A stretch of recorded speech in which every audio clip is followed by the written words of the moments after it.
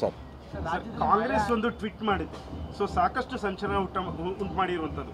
ಮೂರನೇ C M ಬರ್ತಾರೆ ಬದಲಾಗ್ತಾರೆ ಮತ್ತೆ ಬಿಜೆಪಿಯಲ್ಲಿ ಅಂತ. ನಾನು ಕಾಂಗ್ರೆಸ್ ಇದು ಮೊದಲನೇ ಸತಿ ಅಲ್ಲ ಟ್ವೀಟ್ ಮಾಡೋದು. ಅವರೇನೋ ಅಂದ್ಕೊಂಡಿದ್ದಾರೆ ಅವರ ಮನಸ್ಸಿನಲ್ಲಿ ಅತಂತ್ರ ಇದೆ. ಅದನ್ನು ರಾಜ್ಯ ತುಂಬ ಜನರ ಮನಸ್ಸಿನಲ್ಲಿ ಹರಡಬೇಕು ಅಂತಿದ್ದಾರೆ. ಆದರೆ ಜನ ಯಾರೂ ಕೂಡ ಅದನ್ನು ನಂಬೋದಿಲ್ಲ ನಂಬರ್ ಒನ್ ನಂಬೋ ಸ್ಥಿತಿಯಲ್ಲೂ ಇಲ್ಲ. ಆದರೆ ಅದಕ್ಕಿಂತ ಹೆಚ್ಚಾಗಿ ನಾನು ಸ್ಥಿತಪ್ರಜ್ಞೆಯನ್ನಾಗಿದ್ದೇನೆ. ಯಾಕಂದರೆ ಸತ್ಯ ನನಗೆ ಗೊತ್ತಿದೆ. ಯಾವುದೇ ರೀತಿಯ ಈ ಈ ಮಾತುಗಳಿಗೆ ಆಧಾರ ಇಲ್ಲ.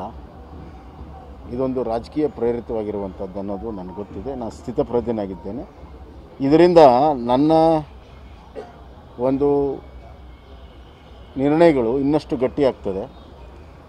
ಇನ್ನು ಹೆಚ್ಚಿನ ಕೆಲಸವನ್ನು ಜನರಿಗೆ, ರಾಜ್ಯಕ್ಕೆ ಮಾಡಬೇಕನ್ನುವಂಥ ಒಂದು ಪ್ರೇರಣೆ ಇವೆಲ್ಲ ವಿಚಾರಗಳು ನನಗೆ ಕೊಟ್ಟಿದೆ.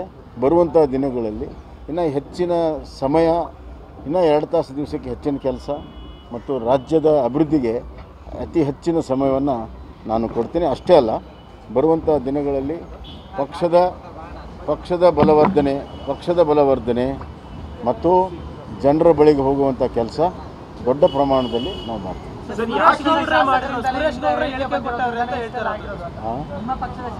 ಇಲ್ಲ ಕೆಲವರು ಕೆಲವರು ಅದು ಯಾವುದು ಮಹತ್ವ ಕೂಡ ಅವಶ್ಯಕತೆ ಇಲ್ಲ. If you like this video ಬೇಗ ಲೈಕ್ ಮಾಡಿ ಕಾಮೆಂಟ್ ಮಾಡಿ ಶೇರ್ ಮಾಡಿ ಹಾಗೂ ಯೋಯೋ ಟಿವಿ ಕನ್ನಡವನ್ನು ಸಬ್ಸ್ಕ್ರೈಬ್ ಮಾಡಿ.